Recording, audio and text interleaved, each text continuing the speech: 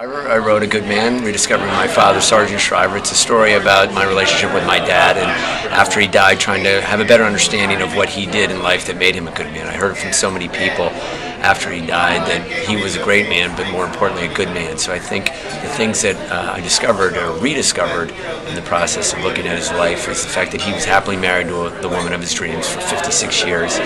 He had five kids, all of whom loved him. He went to Mass on a daily basis. He had countless friends, and not just presidents and vice presidents and cardinals, but really people from the local restaurant where he went, Reeves, right here in Washington, D.C., the guy who worked at the U.S. Air uh, shuttle counter at National Airport. And he taught me really the importance of not only living in the moment and being focused on the person in front of you, uh, but also really unconditional love.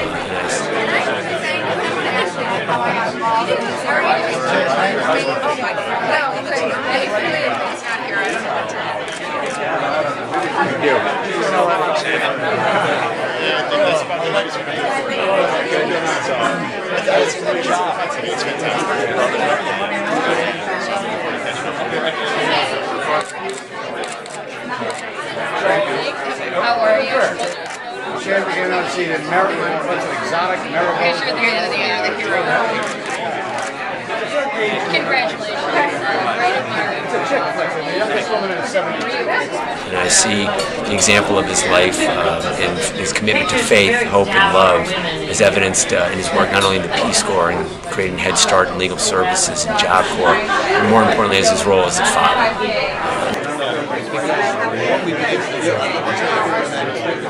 Your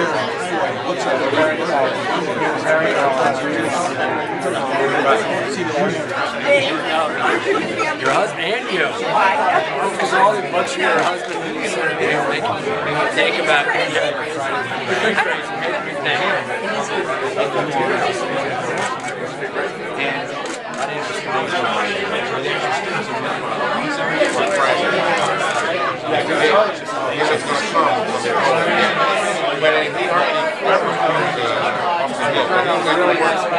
crazy. And my name is As a free start. Exactly.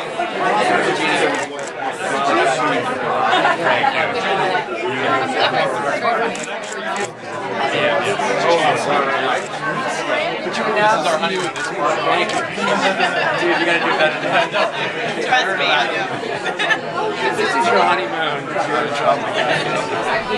And that's what the book is about. It's about my developing relationship with my kids and understanding really how he was a great dad uh, and helping me as I struggle to balance faith, hope, uh, commitment to family, commitment to friends, commitment to job, and commitment to fatherhood. That's my first, my first thing.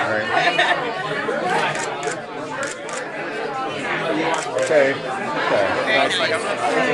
You want me to save it? He's on the spot. I'm picking up. Oh, my son. Patrick. Patrick Henry, named after the great. Yeah, you've heard of him?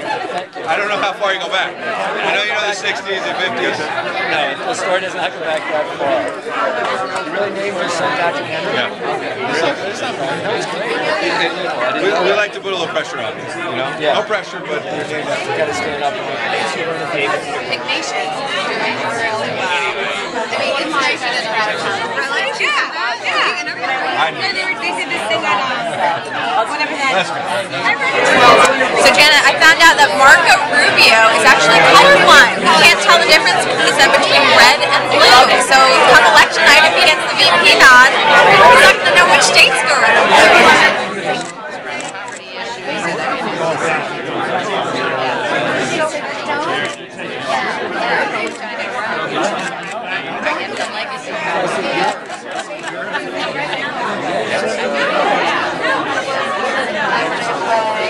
So when I um, attended the uh, memorial service, I got to hear some of the stuff, and it was such a great You know, if you're interested in the history of the 20th century, it's really Dad's life. He was born in 1915. He survived the Depression. His father, unfortunately, had to declare bankruptcy, had to put himself through high school and through Yale, undergraduate and Yale Law School, all on grants and gifts from family members. And he enrolled in the Navy the day after taking final exams before Pearl Harbor. Uh, he was really committed to this country in so many different ways. And then in the 50s, working on racial integration issues with Martin Luther King and others in Chicago and across the country. Uh, and then, you know, the creation of the Peace Corps and other programs in the 60s, Head Start, VISTA, legal services for the poor. But throughout it all was this really consistent dedication to helping others, uh, service to helping the less fortunate, whether it was people with developmental disabilities and his work with my mother at Special Olympics, or whether it was helping the poor in this country or abroad. It was a consistent commitment to others and doing it in a very humble uh, and strong manner. He was a good man. Had a lot of fun. You know, they uh, both went to mass on a daily basis. They both had incredible energy. Uh, they both did different things, but they both supported each other immensely, not only in Special Olympics and my father's work at the Peace Corps and Head Start and other efforts like that, uh, but in raising uh, the five kids and being great grandparents. Uh, they had an incredible relationship. I'm really blessed to have uh, obviously been their child.